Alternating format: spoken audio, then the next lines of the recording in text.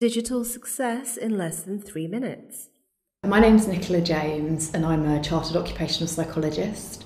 Um, I was diagnosed with dyslexia in my third year of my degree um, and as a result of having support tuition it made such a big difference to my life. So actually what I do is to try and help people who have dyslexia. So I'm a chartered psychologist, I'm the CEO of Lexxic.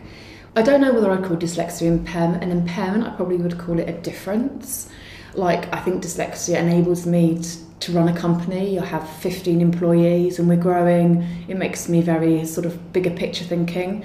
I think the thing I find harder is the thing is things like reading complex information, getting my thoughts down on page. So when I was at university, I used three assistive technologies. I used voice recognition, which is basically I speak and it types for me like Dragon Naturally Speaking. I used mind mapping software to help get my thoughts down on paper, on paper and structure my essays in a way and I used text to speech. I used Read and Write Gold, which basically reads the text out loud to you and highlights the words as you read.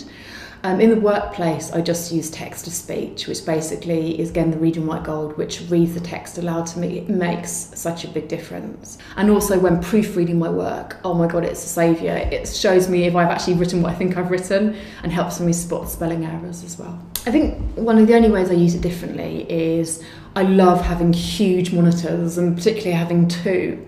Um, what I find is that if I have to keep referring between documents, I might forget what I've looked at, so I have to re-look at the document, and that's because of my short-term memory that's related to my dyslexia. Whereas if I can compare and contrast two documents together, or have my emails here and have the document I'm working on next to me, it makes such a big difference. It enables me to work faster and just be um, more proactive. And as the, the information is larger, I can read documents more easily, I can see mistakes more easily.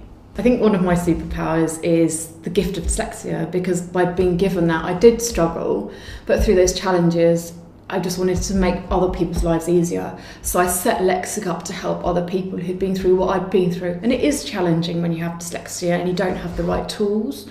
So I think the superpower is to care about other people and give them the skills that I was given in my you know in my third year of my degree and enable them in the workplace to succeed. So if you're thinking of hiring someone with dyslexia i would look beyond the label. I, I find that dyslexia has many many strengths just just important to ensure that the role that the person is going for aligns with those strengths i have a team with people who have dyslexia and don't have dyslexia and i find that people with dyslexia have many strengths like coaching, working on a one to one, supporting people, giving presentations. And then other people that are really good at the detail might not be so good at the bigger picture. And together the team works really well. So I think it's important to recognise and look beyond the label, look at what people are good at and align those strengths with the role. And if you have dyslexia, make sure you don't give yourself such a hard time and look at what you're good at and focus on what you're good at because you'll find lots of doors open if you do that. This video was produced for Business Disability Forum in collaboration with BBC and Microlink, with thanks to Anya Otto from ATOS, Joanna Wotton, age, disability and inclusion expert, Nicola James from Lexxic, Paul Beppy from BBC, Paul Smythe from Barclays, Ross Hovey from Lloyds Banking Group,